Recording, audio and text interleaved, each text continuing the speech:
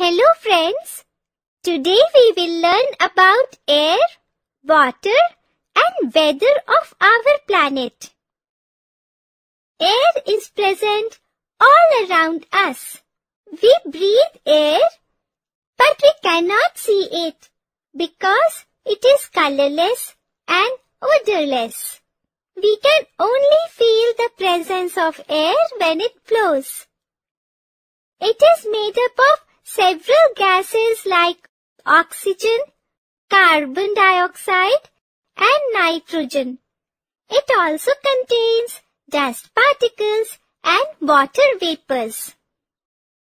Do you know? Nitrogen constitutes about 78% of the air. Water is a liquid without color, smell or taste that falls as rain and gets collected in lakes, rivers and seas and it is used for drinking, washing, etc. Life is not possible without water.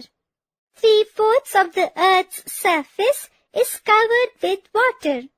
Water exists in nature in three forms, solid, liquid and gas.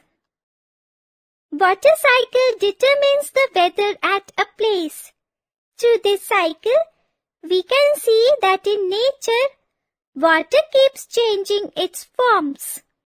With the heat of the sun, water from the water bodies such as lakes, ponds, rivers, oceans and land evaporates and forms water vapors. These water vapors become cool to form tiny droplets of water. These droplets together form clouds and falls in the form of rain. The rainwater again fills the water bodies with water. The atmospheric condition of a particular place at a particular time is known as weather. The weather patterns at a place keep changing every day. The weather at a particular place changes due to four important elements. Sun, wind, clouds and rain. Let us learn about their role in determining weather. The sun plays a very significant role in the change of weather at a place. On a clear, bright sunny day, you feel very hot. You feel very hot at noons as the sun shines brightly over your head. But in the morning and evening, the sun's rays are slanting and you feel less hotter. The sun's energy heats the air, land and water. This results in the formation of wind, clouds and rain. The blow of air caused by the sun results in the formation of wind. During summer, when no wind blows, it makes us feel muggy and uncomfortable. When wind is soft and gentle, it is called breeze. During summer, sometimes hot wind keeps the people indoors.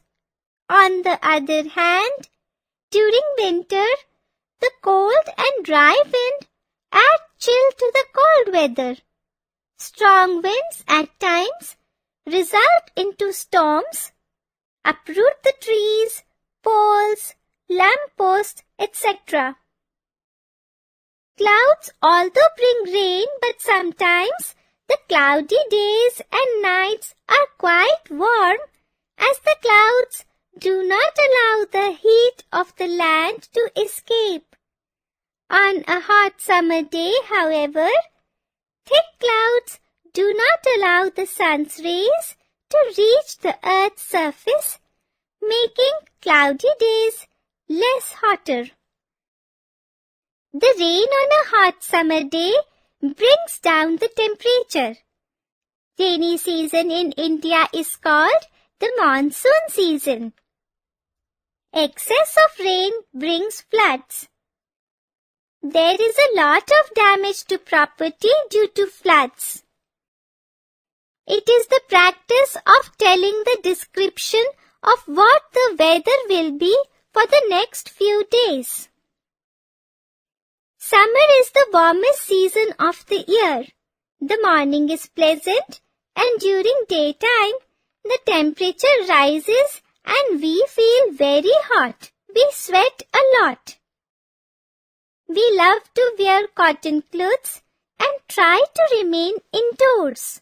To beat the heat, we love to drink juices, lemon water, etc. and eat ice cream, watermelon, etc. After hot summer days, the rains are always very welcome. A period of heavy rain in summer is called monsoon. We do not forget to step out of our houses without umbrellas. Rainwater seeps into the soil and all water bodies get filled with water. But rainwater, if collected in puddles, helps mosquitoes to breed and spread diseases. In the monsoon season, we should drink boiled water. We should avoid eating cut fruits which are kept in the open. The coldest season of the year is called the winter. We prefer to sit in the sun. If the sun is not shining, we try to remain indoors. We wear woolen clothes to prevent us from the cold. We enjoy drinking coffee, tea and hot milk. We cover ourselves with quilts and blankets in the night. Do you know? Mawsynram is the place in India which receives the maximum rainfall. Drought is the term used for a place when it receives less than average rainfall. Let us summarize. Air is a mixture of several gases. Air contains several gases, dust particles and water vapors. Water is very important for life forms. It exists in three states. Water cycle is a natural process by which water changes its forms. Sun, wind, rain and clouds play very important role in affecting weather at a place. The summer season is very hot, winter season is very cold and the monsoon season brings a lot of rain.